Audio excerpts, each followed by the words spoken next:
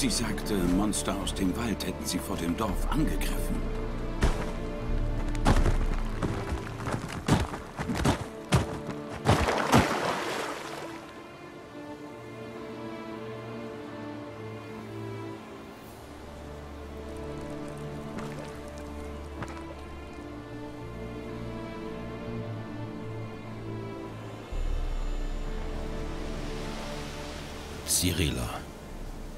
Als Cyrilla spielst, hast du keinen Zugriff auf das Inventar und kannst keine Zeichen wirken.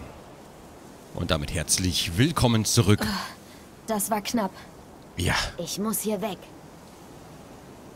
herzlich willkommen zurück bei The Witcher 3, wo wir jetzt offenbar nicht mehr als Geralt von Riva spielen, sondern als Cyrilla, als eine kleine Ziehtochter,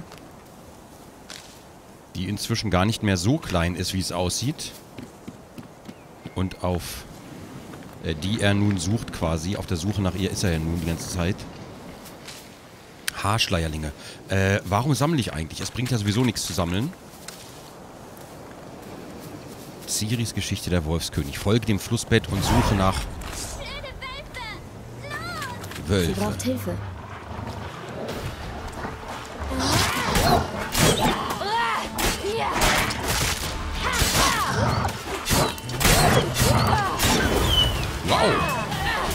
Junge Dame!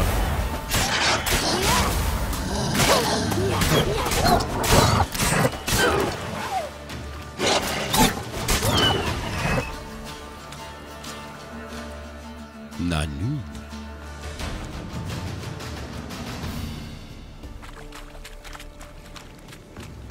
Kannst wieder runterkommen.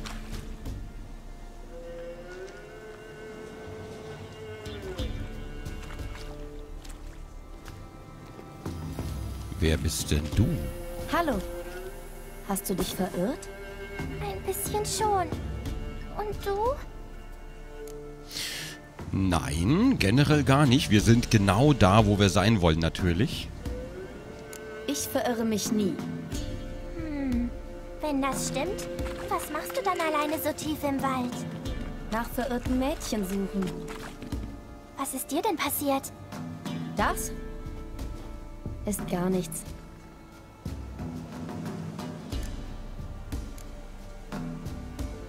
Erzähl mir doch, wo du wohnst. In Lindenthal. Da wird man deine Wunden versorgen. Ob das so funktioniert, weiß ich ja gar nicht. Und vor allen Dingen, was macht sie denn hier im Sumpf? Wie bist du denn hierher gekommen? Mit meinem Vater. Ich sollte dem süßen Pfad folgen und essen, was ich mag. Er wollte warten. Also habe ich das gemacht. Aber dann wollte ich einen Schmetterling fangen und kam vom Weg ab. Was ist denn der süße Pfad? Warum wollte dein Vater, dass du dem süßen Pfad folgst? Weil wir nichts mehr zum Frühstück hatten. Verstehe ich nicht. Ich war böse. Hab den Milchkrug zerbrochen. Deine Eltern waren wohl wütend. Mutter fand, ich sollte Haue kriegen. Aber Vater sagte, es gibt sowieso zu viele Mäuler zu stopfen. Oh Mann. Mich zum süßen Pfad zu schicken, wäre die Lösung. Der süße Pfad. Hört sich ein bisschen nach Hänsel und Gretel an. Du und dein Vater. Wann seid ihr aufgebrochen? Heute früh. Hat die Sonne euch das Gesicht oder den Rücken gewärmt? Den Rücken. Dann müssen wir nach Osten. Komm, ich bring dich heim. Und ich sag deinen Eltern, dass sie keine Kinder im Wald verlieren dürfen. Wir können nicht heim. Der Wolfskönig und sein Rudel.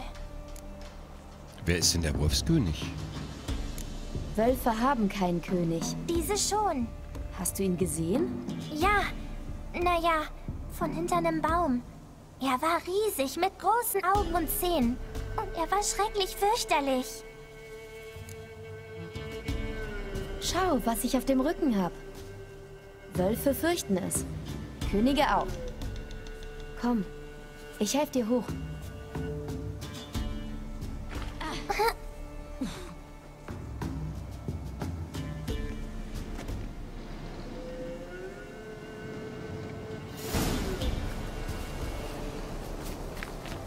Ach, die Gretka. Ist ja irgendwie niedlich. Oh. Dann lauf doch nicht voraus. Schnell, versteck dich. Alter, alter, alter.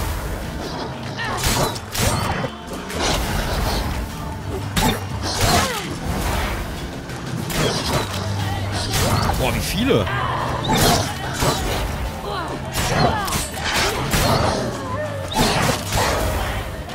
Das sind wahrlich viele.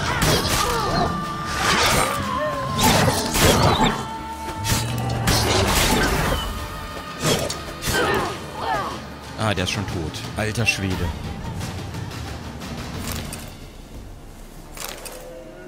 So, wo ist denn die Gretka?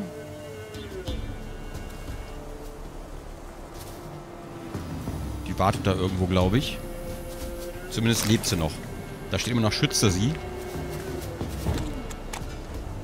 Ach so.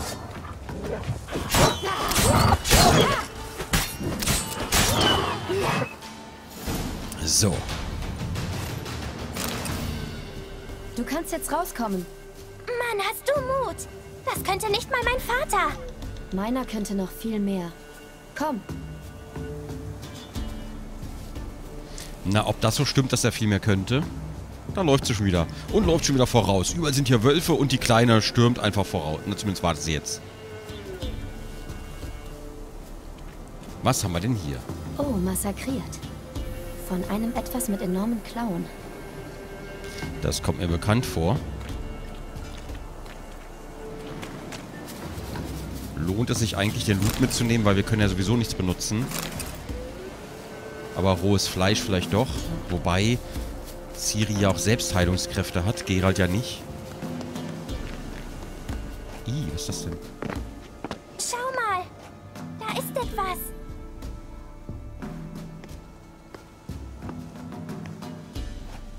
Bleib hier. Geh nicht weiter. Aber Nichts aber, bleib hier.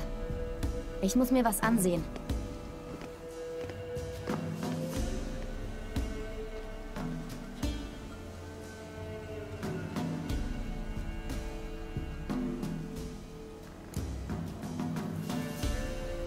Hm.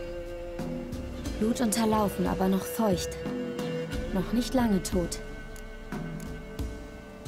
Lippen geöffnet, geschwollen.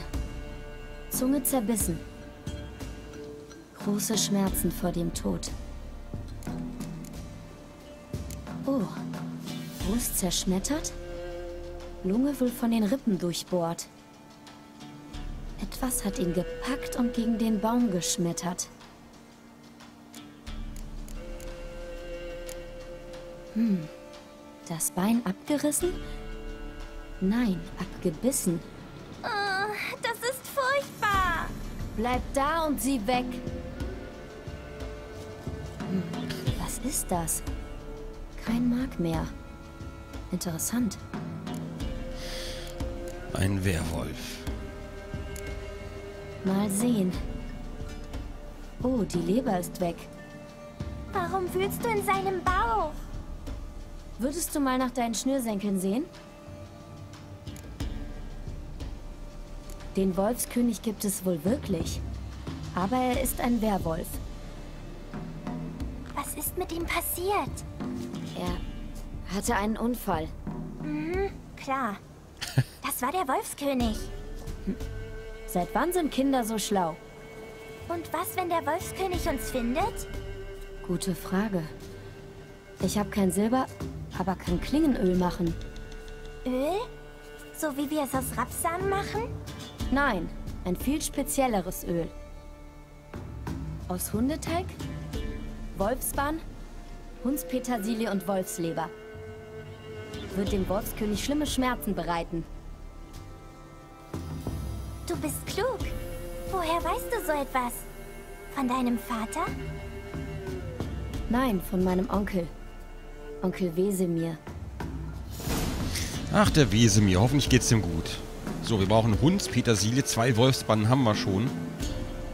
Ich glaube, Wolfsbannen waren... Warte, da war doch... Da, diese lilanen brauchen wir, glaube ich. Na. Die Kleine stürmt wieder voraus, ganz klar. Hallo? Zutaten. So, Wolfsbann haben wir. Zwei Petersilie brauchen wir. Wir haben noch gar keine. Das hier. ist ein Mistelzweig. Würde sich Miraculix freuen. Und da unten haben wir wieder Freunde.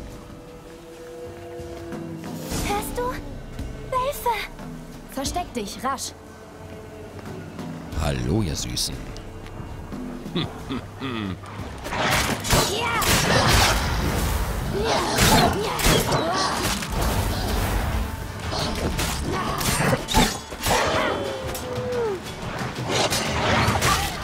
Ja, ich habe einmal geblockt. Hast du gesehen? Ich habe einmal geblockt. Man glaubt es gar nicht.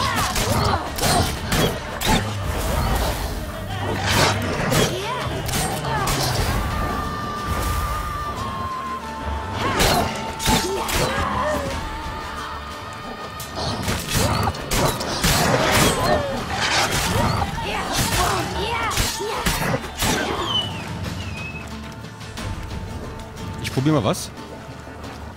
Na, greif schon an. Hallo? Äh. Äh. Ich glaube, der spielt. Ich glaube, der mag uns. Ach, Schnauze.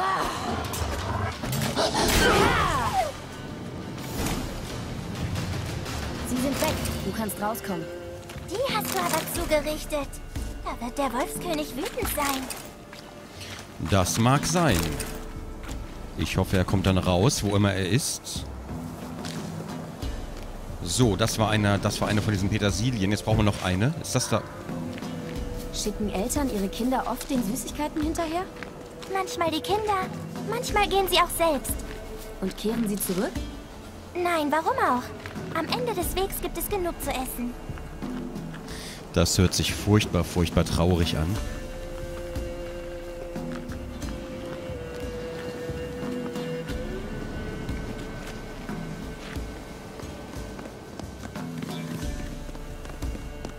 Da hinten. Hier lang, durch die Höhle. Geh voran. Tolle Idee. Durch die Höhle. Geh voran zum Kind sagen. Tolle Idee. Da haben wir sie. Nanü? So, jetzt hab ich alles. Fehlt nur noch ein Feuerplätzchen, wo ich das Öl in Ruhe herstellen kann.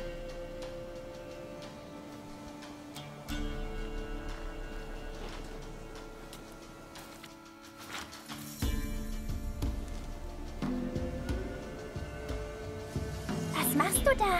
Ich fette meine Klinge ein. So. Mal sehen, wie wirksam Onkel Wesemirs Rezepte sind. Ah, wir sind wieder beim abgeschlachteten Mann. Kleine läuft wieder voraus. Wölfe sind ja eh schon tot. Das heißt, jetzt stellen wir uns vielleicht dem Wolfskönig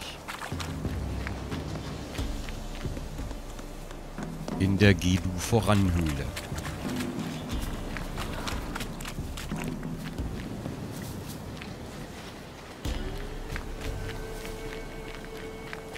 Könnte schwören, ab und zu höre ich einen Mann irgendwo im Hintergrund schreien.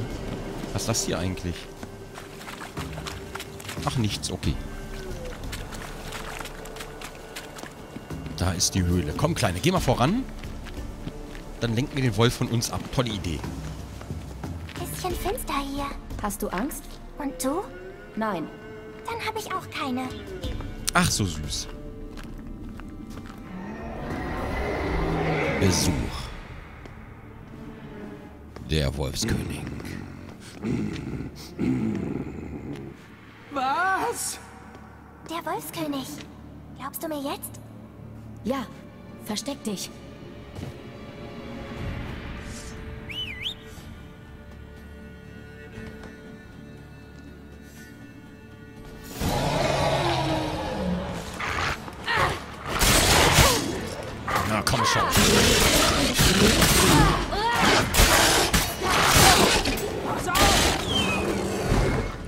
Der Wolfskönig.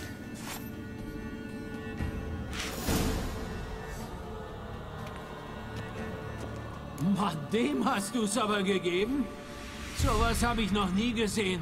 Gretka, du kannst rauskommen. Na komm.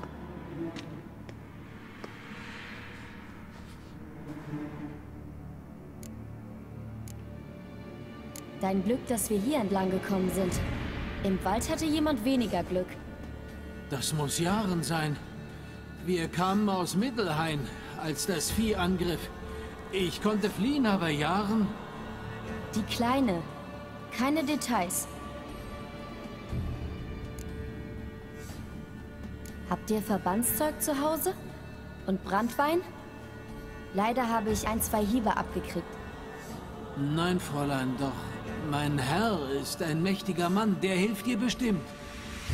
Vielleicht belohnt er dich sogar für deine Tat. Na schön. Bring uns zu deinem Herrn. Der rote Baron.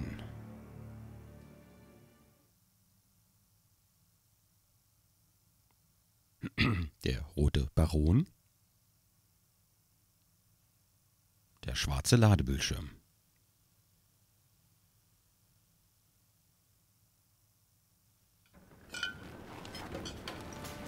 Einige Stunden später.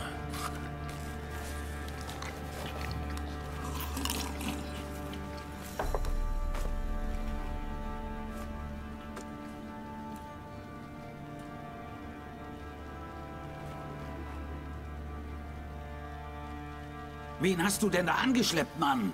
Das ist nicht meine Tochter. Die Kleine auch nicht? Nein, verdammt. Ich kenne doch mein Kind. Die Große mag nicht deine sein, doch die Ähnlichkeit ist verblüffend. Also, was ist mit der Belohnung? Du wirst nicht einen beschissenen Kopper sehen. Verschwinde, sonst werde ich die Hunde loslassen.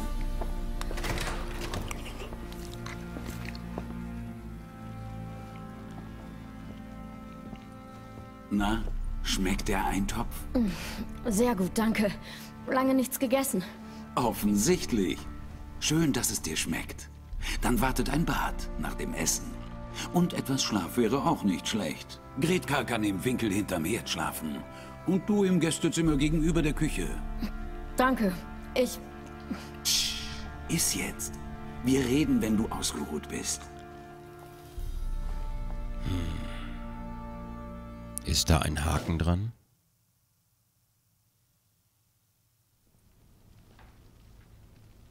Ich befahl den Männern, sie zu bewachen und ließ sie schlafen. Und?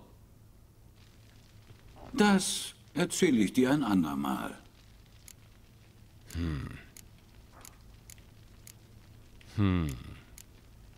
Das kleine Mädchen, das mit Ciri herkam. Was ist mit ihr passiert? Gretka? Die ist wohlauf. Sie hilft in der Küche. Ciri hat mir von den Eltern und ihrer Entscheidung erzählt. Ich werde die Kleine nicht nach Hause schicken. Hier hat sie was zu essen und eine eigene warme Ecke. Es fehlt ihr an nichts. Und was ist mit Ciri? Hab ich dir schon gesagt. Darüber reden wir ein andermal. Er will also etwas von uns. Ich will... Ich muss sie finden, verstehst du? Ich brauche jede noch so kleine Information. Verstehe. Aber du musst wissen, meine Frau und meine Tochter sind auch verschollen. Hier ist mein Vorschlag. Finde meine Lieben und ich erzähle dir alles, was ich über dein Mädchen weiß. Warum sollten wir ihm trauen? Das ist eine berechtigte Frage natürlich, aber andererseits... Er will was von uns, wir wollen was von ihm. Eigentlich eine faire Situation. Gut, ich helfe dir. Ich suche deine Familie, aber dann rückst du mit allem raus, was du weißt. Mein Wort darauf. Wann hast du sie zuletzt gesehen? Sie sind nach Neumond verschwunden. Wie von Schatten verschluckt. Was meinst du mit verschwunden? Genau das. Ich bin eines Morgens aufgewacht und sie waren weg. Ich muss erst mal wissen, wie sie aussehen. Tamara, meine Tochter, ist im Frühling 19 geworden. Schlankes Mädchen, reicht mir bis an die Schultern. Schöne Augen, grün wie die ihrer Mutter. Meine Frau Anna hat 40 Winter gesehen, was sie nie zugeben würde. Dunkles Haar, dick wie Teer. Sie trägt es als Knoten. Hast du sie schon gesucht? Ich habe sofort Männer losgeschickt. Bodenbretter rausreißen, um versteckte Kornsäcke zu suchen, können sie wohl. Nach lebendigen Menschen suchen ist eine andere Sache. Außerdem, Wählen besteht nur aus Sumpf und Wald, nichts als Schlupfwinkel. Wenn man jemanden verstecken will, ist man hier goldrichtig. Aber warum sollte denn jemand die beiden verstecken wollen, wenn es keine, sagen wir mal, Lösegeldforderung oder irgendwas gab? Hm. Vielleicht wurden sie entführt. Habt ihr Feinde? Höchstens taugenichtse und wütende Bauern. Niemand würde sich trauen, auch nur einen Finger gegen uns zu erheben. Wer das getan hätte, läge schon lange im Staub. Nicht, wenn er eure Frau und eure Tochter als Geisel hat, vielleicht, oder? Ich weiß es nicht. Gab's was Ungewöhnliches, ehe Sie verschwanden? Änderungen im Verhalten? Seltsame Aktionen? Ungewöhnlich? Nein. Ein paar Bauern klagten, dass eine Frau beim Brunnen von einer Bestie zerrissen wurde. Das war schon die zweite. Nichts Neues für Wählen. Und meine Frauen? Anna war still wie immer. Tamara war mit ihrem Kram beschäftigt. Auch wie immer. Also nichts, was er uns über die beiden sagen kann. Dieser Ort muss schwierig sein, wenn es sonst keine Frauen gibt. Dieser Ort? Was soll das heißen? Es hat ihnen an nichts gefehlt. Fasan zum Abendessen, blaue Schleifen aus Toussaint, alles, was sie wollten. Ich dachte an deine Männer. Die haben deinen Frauen auch wirklich nicht zugesetzt? Sie sind allesamt Hurensöhne, aber sie wissen, was sich gehört. Sehe einer meiner Frauen auch nur schief an, würde ich ihn schlachten wie einen Hund. Gut, das ist deutlich. Ich muss noch viel mehr wissen. Kann ich Ihre Zimmer sehen? Wozu? Ich brauche Hinweise, Anhaltspunkte. Ich lasse keinen Fremden an ihre Sachen. Soll ich sie finden oder nicht? Ja, schon. Dann lass mich dorthin. Gut. Aber ich gehe mit. Die Türen sind ohnehin verschlossen.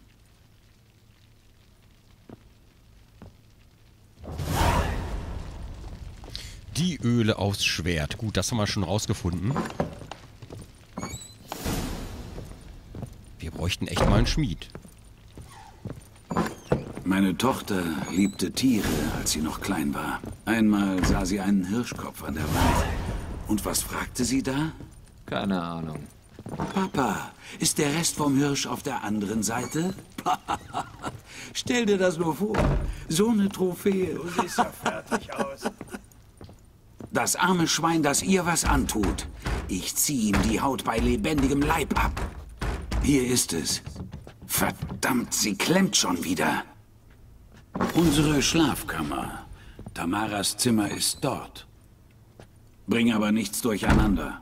Bei ihrer Rückkehr soll alles so sein, wie sie es verlassen haben. Wir werden sehen. Weiß er noch irgendwas? Willst du dich nun umsehen oder nicht? Ja, ja, ja, ich sehe mich schon um. Setze deine Hexersinne ein. Okay, erstmal sieht hier alles recht normal. Da ist Blut auf dem Boden. Offenbar nicht ganz so normal, wie man sich das denkt. Mitnehmen. Können wir was mitnehmen? Ich gucke erstmal ganz kurz, ob wir hier vielleicht zufällig reines Silber soll ja alles so sein, wie sie es verlassen hat. Wo geht's denn hier hin? Abgeschlossen.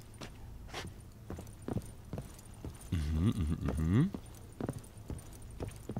Ganz leicht berührt das Gamepad ab und zu, wenn wir wieder näher kommen. Goldring, Perle, Tintenfass. Ach ja, ja, ja. Wir dürfen hier auf gar keinen Fall was anrühren. Das sind die beiden, glaube ich, ne? Pass auf, bevor wir jetzt, bevor wir weitersuchen, wollte ich nochmal ganz kurz gucken, nicht im Bestiarium, sondern hier bei den Charakteren. Der blutige Baron. Bei seiner ersten Begegnung mit Baron Philipp Strenger überraschten Gerald die zahlreichen Widersprüche des Mannes. Der ehemalige temerische Soldat war ein Wendehals, der nach der krachenden Niederlage seiner Armee den nilfgaardischen Besatzern gedient und mit ihnen verhandelt hatte. Die örtlichen Bauern nannten ihn den blutigen Baron, was nahelegte, dass er seine Vasallen nicht gerade mit Samthandschuhen anfasste. Andererseits war er überraschend gastfreundlich einem unerwarteten Besucher gegenüber, den er nicht kannte und der zudem ein professioneller Monsterschlechter war. Ferner standen das banditenartige Erscheinungsbild und der schreckliche Spitzname des blutigen Barons im Widerspruch zu seinem Umgang mit Frauen und Kindern, für die er aufrichtige und fast väterliche Sorge zeigte. Ciri hatte dies selbst herausgefunden, als sie unter seinem Dach Zuflucht und Obhut fand.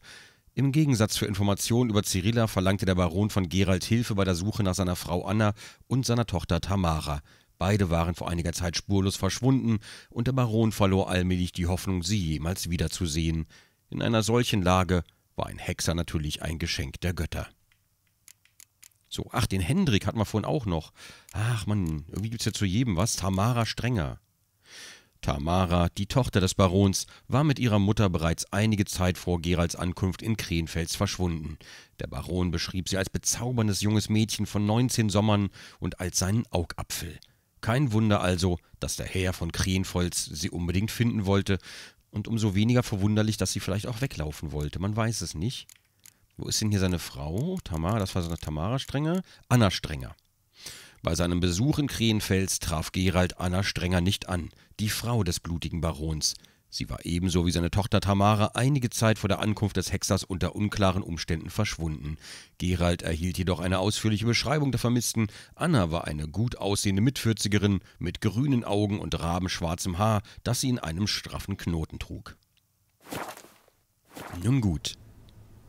Von dem Knoten sieht man da nichts. Ich dachte gerade nur, wenn man das Bild sieht, kann man da mal schauen, ob wir nähere Informationen erhalten. Da gibt es auch nichts. Wir setzen gleich die Hexersinne ein. Lalala, hier gibt's gar nichts. Hier gibt's überhaupt gar nichts. Ich meine natürlich Hexersinne. Wie peinlich. Da. Ein Kerzenständer. Wurde mit dem jemand erschlagen, weil über Blut ist? Ein Kerzenleuchter aus Holz. Der Schaft ist gebrochen. Eine Mordwaffe vielleicht? Zumindest berichtet so ein Schaft ja nicht von alleine. Hier sind das sind das Fensterladen oder hing da vorher was? Die Wand sieht anders aus. Hier hing etwas. Hm. Das Bild, die Größe stimmt. Ich hatte mich schon gewundert, warum das riesige Bild da ist. Das passt da so gar nicht hin. Der Baron und seine Frau. Hm. Sie sehen glücklich aus.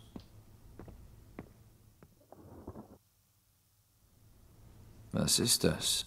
Aha. Wer wohl das Loch verborgen hat? Und was auf der anderen Seite ist? Und warum meine Haare ständig im Wind fliegen, obwohl kein Wind ist, man weiß es nicht genau. Schauen wir mal auf der anderen Seite.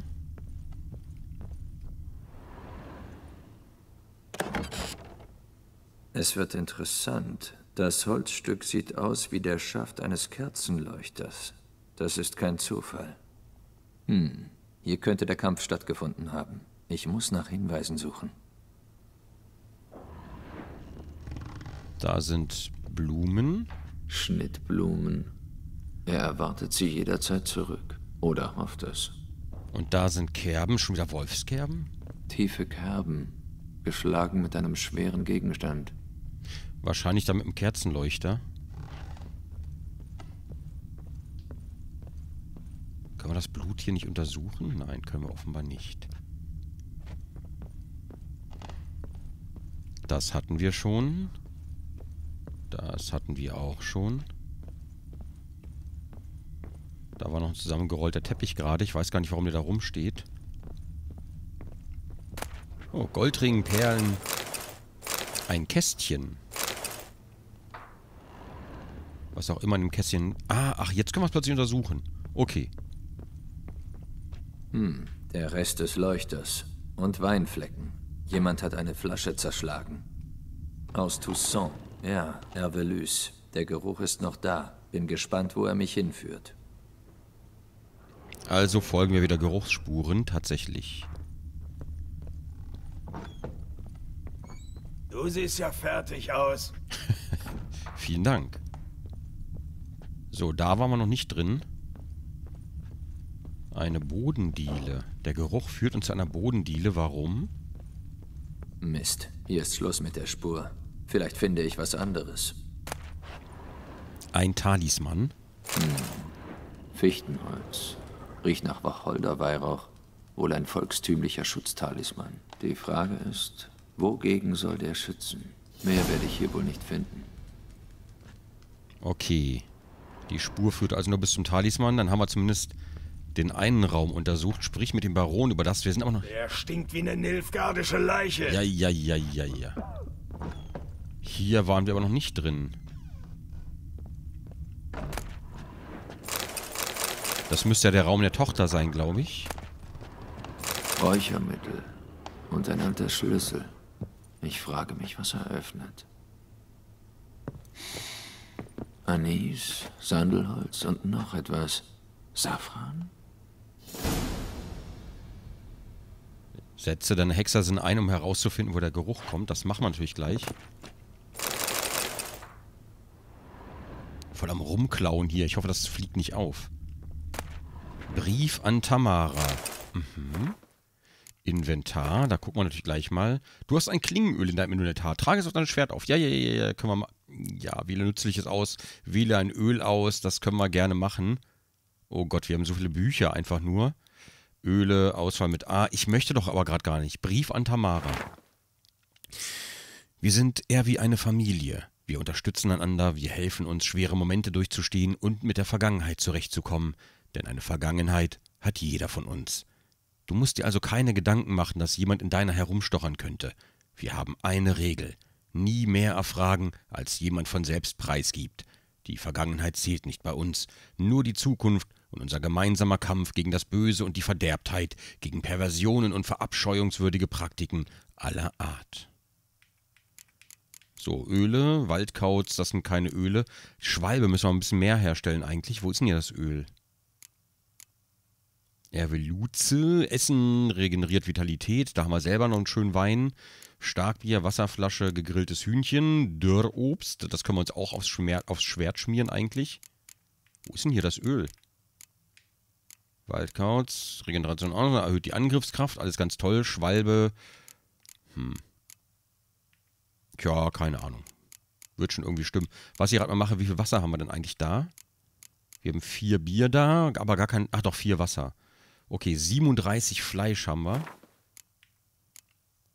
So, was zu trinken auf den unteren Slot, das können wir parallel machen, dann regenerieren wir schneller.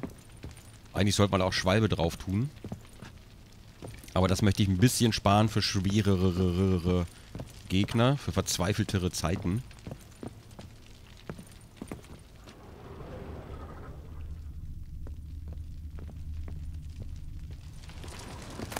Eine Puppe und Naschwerk.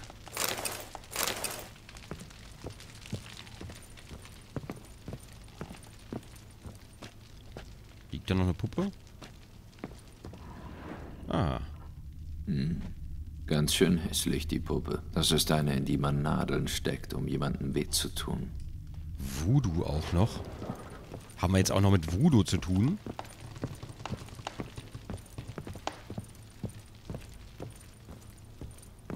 So, hier. Ausmachen, ausmachen. Hier ist sonst gar nichts. Na gut, dann folgen wir dem nächsten Geruch. Von Sandelholz oder was? Überall nur Gesindel. Der führt uns jetzt weiter nach unten. Okay.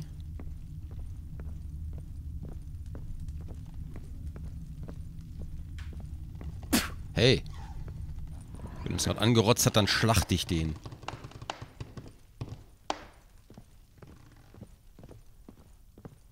Hol den Sonderling raus. Ich glaube, der Sonderling schläft. Na und? Also musst du jetzt gehen und ihn wecken. Haben die einen gefangenen Sonderling? Dürfen wir überhaupt klauen, wenn die Wachen daneben stehen? Auch mal dürfen wir alles mitnehmen, weil wir müssen ja ermitteln. Das ist ja wichtig. Das ist ja alles nur für die Ermittlungen hier gerade. Zwergenschnaps. Ah, oh, illegal. Mist, zerbrochene Haken. Ich hasse zerbrochene Haken. Die lasse ich drin. Da kommen wir nicht rein. Kornspeicher. Leere Flaschen. Offenbar haben die hier so einen Altglas-Container irgendwo, wo sie dann später ihre Flaschen wegbringen. Und offenbar rotzen die hier überall hin. Warum gibt es denn hier so viele Puppen, frage ich mich. So. Wie die hier nur am Rumrotzen sind, wie ekelhaft. Na gut, aber wir sind ja zum Glück im Keller.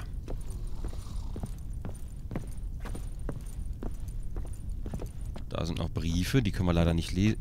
Was macht er denn da? Was macht er denn da? Gib mir einen Kopper, guter Mann. Für einen Bissen Brot. Ich schwöre. Okay, ich glaube, der testet hier die Weine.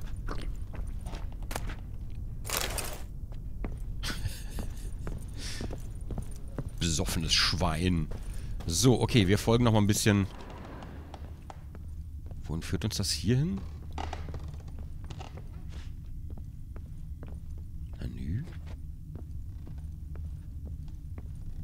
Laut der Minimap sind wir gerade dran vorbeigegangen, aber irgendwie führt der Weg trotzdem hier hinten hin. Da um die Ecke. Das heißt, wir gehen trotzdem erstmal hier rein. Wasserflasche. Schnaps ohne Ende. Sehr geil.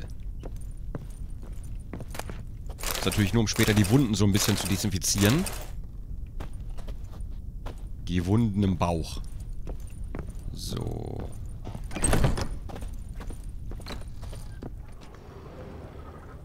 Alter Schwede. Becher, Eisbärfell, Kandelaber, Zwirn. Verwesenes... Oh, toll, verwesenes Fleisch. Endlich.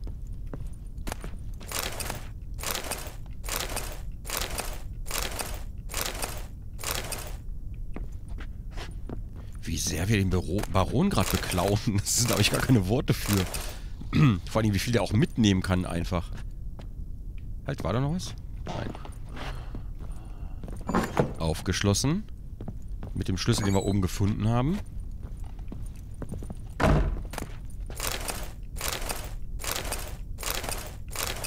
So. Ich warte nur auf die zerbrochene Haag. Was ist das denn hier? Der Geruch scheint ja eindeutig hier hinzuführen. Ein Altar. Das ewige Feuer hat also auch Wählen erreicht. Das ewige Feuer. Und schön da alles hingemalt oben. Ein Gebet. Das lesen wir natürlich auch gleich mal vor. Ähm, ein Gebet. Ewiges Feuer, dass du unsere Herzen erleuchtest und uns dein Licht schenkst. Gib uns deine Wärme, trockne unsere Tränen, verbrenne unsere Feinde, gewähre deinen Freunden deinen Schutz. Gib meiner Mutter Gesundheit, bestrafe meinen Vater, hilf mir, mein Schicksal zu erfüllen. Hat das die Tochter geschrieben? Warum steht da bestrafe meinen Vater? Das heißt, unser feiner roter Baron ist gar nicht so unschuldig, wie man meinen sollte. Der hat sich irgendwas zu Schulden kommen lassen. Deswegen auch die Kampfspuren oben bei der Mutter im Zimmer. Oder im ehelichen Schlafgemach. Halt.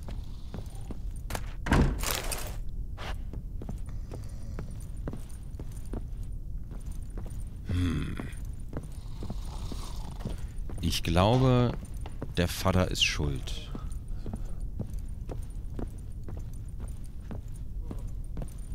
Das heißt, wir sollten ihn jetzt nochmal schnell zur Rede stellen, bevor die Folge gleich wieder vorbei ist, damit wir noch erfahren, was hier los war.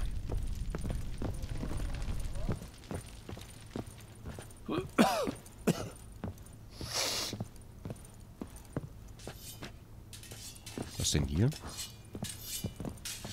Wache des Barons. Ähm. Ja, nee, ich wollte nicht stören. Ich wollte nur mal kurz... Alter. Wie die alle mal rumrotzen sind. Herr Feldwebel. Hier ist nichts für dich. Ach so, entschuldige. Ich dachte, hier geht's weiter. Da geht's wahrscheinlich raus. Ich weiß Ich nicht. könnte einen Rachenputzer vertragen. Zufällig Wodka? Ach, Gretka. Guck mal. Tötest du die Monster? Alle? Aber natürlich. Was soll ich denn sonst tun? Hey, Gretka. Du bist also Gretka. Genau. Und du bist Gerald. Woher weißt du das? Weil du weiße Haare hast und ein Medaillon, das wie ein Wolf aussieht. Siri hat mir von dir erzählt. Meine Freundin nämlich Gerald Steiner Sprudel. Du und Ciri habt wohl viel geredet. Oh ja. Hat sie gesagt, wo sie hin wollte oder was sie hier gesucht hat? Sie hat gesagt, dass sie nach dir und nach einer Zauberin sucht. Aber du bist hier, also hat sie dich wohl nicht gefunden. Ich frag mich, ob sie ihrem Freund geholfen hat. Hm? Welchem Freund denn? Ciri wollte einem Freund helfen? Weißt du, wer das war? Was meinst du mit wer? Ihr Freund. Sie sagte, er wäre in Schwierigkeiten und sie müsste ihn retten. Aber welcher Freund? Verdammt. Weißt du, wo Ciri ist? Nein. Einmal habe ich ihr Frühstück gebracht und da war sie weg. Der Baron hat mir gesagt, dass sie gegangen ist. Hast du nicht gefragt, wo sie hin ist? Doch, aber er meinte, ich wäre zu klein und würde das nicht verstehen. Aber Ciri hat mir ein Geschenk dagelassen. Ein Geschenk? Ja, das hier. Ein grünen Stein. Ein richtig schönes Geschenk. Versteck ihn gut, zeig ihn keinem. Er ist sehr viel wert. Hm. Danke, Gretka. Viel Spaß. Aber ich spiele nicht. Ich helfe. Aha. Sch Sch Schwalbe. Schwalbe. Dornengestrüpp. Ich glaube, sie lernen gerade sprechen. Ich bin mir gar nicht so, so sicher. So, fünfte Essenz. Aha. Alles für die Alchemie. Komisch, dass es hier in der Küche so viel davon gibt.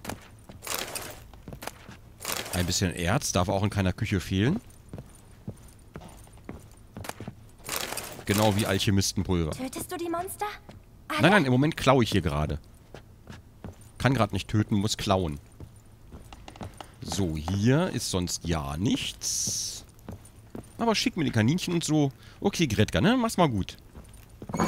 Dann müsste das hier gegenüber der Küche doch eigentlich...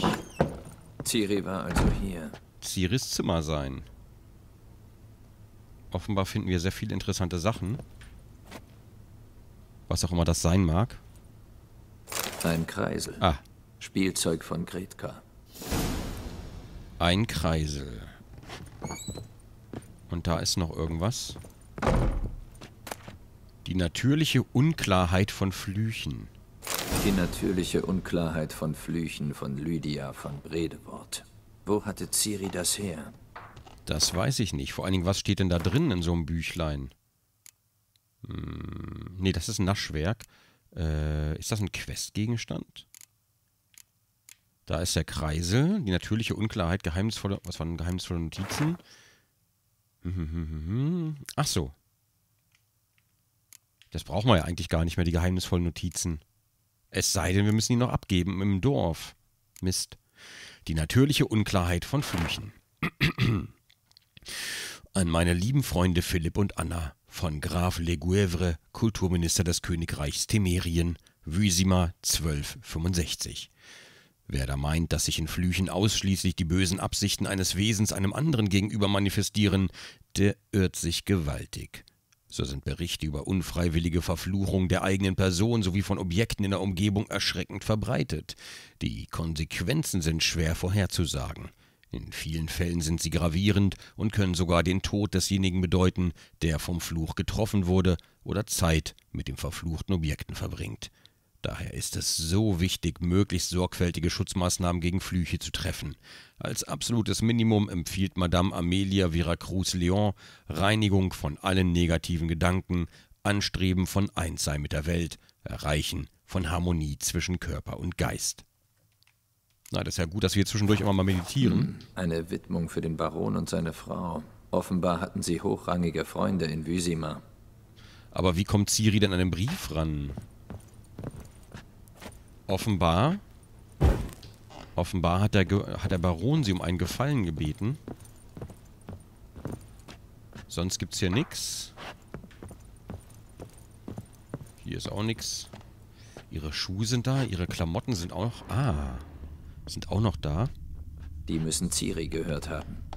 Offenbar hatte sie es eilig zu verschwinden. Wenn sie sich aber vorbereitet hat auf irgendwas, Warum hat sie denn ihre Sachen dann liegen lassen? Das verstehe ich nicht. Hm, das sind die Familienangelegenheiten. Wo war denn hier? Ist das eine Nebenquest? Ciris Zimmer. Nachdem Gerald in Erfahrung gebracht hat, in welchem Zimmer Ciri während ihres Aufenthalts auf Krenfels übernachtet hatte, sah er dort nach, ob Ciri etwas Hilfreiches für seine Suche zurückgelassen hatte. Außerdem nutzte Gerald gerne jede Gelegenheit, die Besitztümer anderer zu durchsuchen. Was? Was? Hä? Geh zur Küche und sprich mit Gretka. Das haben wir doch schon gemacht. Ach so, den Kreisel. Dann bringen wir ihm mal den Kreisel. Da freut sie sich vielleicht. Und vielleicht kriegen wir noch einen Hinweis. Sch Schwalbe. Schwalbe. Dornengestrüpp. Ja. Gerald. Hey, guck mal, was ich gefunden habe. Erkennst du das? Mein Kreisel? Wo hast du ihn her? Ich habe ihn in Ciris Zimmer gefunden. Gehört er dir? Siri hat ihn für mich gemacht, als ich traurig war. Wir haben manchmal in ihrem Zimmer gespielt. Schade, dass sie gehen musste. 100 Erfahrungspunkte, aber wofür? Danke, Greta. Viel Spaß. Aber ich spiele nicht. Ich helfe. Tötest du die Monster? Alle? Auf der ganzen Welt, ist doch klar. Eine Tür war da noch. Abgeschlossen, natürlich. Na gut, dann suchen wir gerade mal, wo der Baron rumhängt.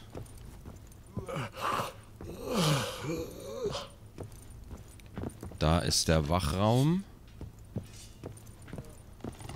Hier wahrscheinlich, oder? Warum leuchten denn die Fenster so hell? Ach, der sitzt immer noch oben. Der sitzt noch oben und wartet. Verdammt. Wir haben ihm noch gar nicht Bescheid gesagt, was wir im Zimmer gefunden haben. Und ich klappe hier das ganze Haus schon ab. Wie peinlich. So, jetzt aber. Ich brauche einen guten Fick. Ja, leider haben wir nur Endscreen-Angebot, keinen guten. ja, weißt du Bescheid?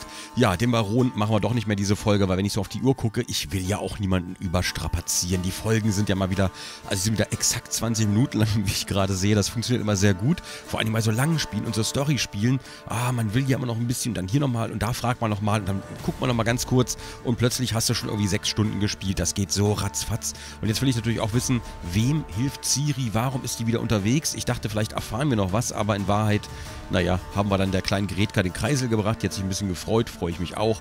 Aber trotzdem würde ich mich noch mehr freuen, wenn wir wüssten, wo die Ciri denn jetzt hin ist und welchem Freund die helfen soll. Ich glaube, der Rote Baron weiß mehr. Und ich glaube auch, der Rote Baron hat naja, der hat Dreck am Stecken, was entweder seine Frau angeht und oder seine Tochter. Sonst würde seine Tochter ihn natürlich nicht verfluchen im Gebet. Das ist ja ein Gebet. Die wünscht sich ja nicht irgendwie, dass dem Vater besser geht oder dass die Dämonen ihn verlassen, sondern sie will ihn sogar bestrafen. Das heißt, irgendwas ist da auf jeden Fall faul. Es sei denn, er ist überprotektiv. Das kann natürlich auch sein. Sie ist 19, sie will vielleicht ein bisschen raus, ein bisschen natürlich auch rumlaufen und lalala. Und äh, man weiß es ja nicht. Ähm, und er hängt da wahrscheinlich mit seiner schützenden Hand drüber, lässt nichts zu, schlachtet jeden ab wie ein Hund, wie er gesagt hat. Naja, schauen wir mal. In der nächsten Folge erfahren wir hoffentlich, hoffentlich mehr. Ich hoffe, der Bar Baron verrät uns noch ein bisschen. Und dann machen wir uns auf, seine Frau und seine Tochter zu finden, um darüber vielleicht den Aufenthaltsort von Ciri zu erfahren. Mal schauen, wie weit wir kommen. Bis dahin, vielen Dank fürs Zuschauen und bis zur nächsten Folge. Gehabt euch wohl.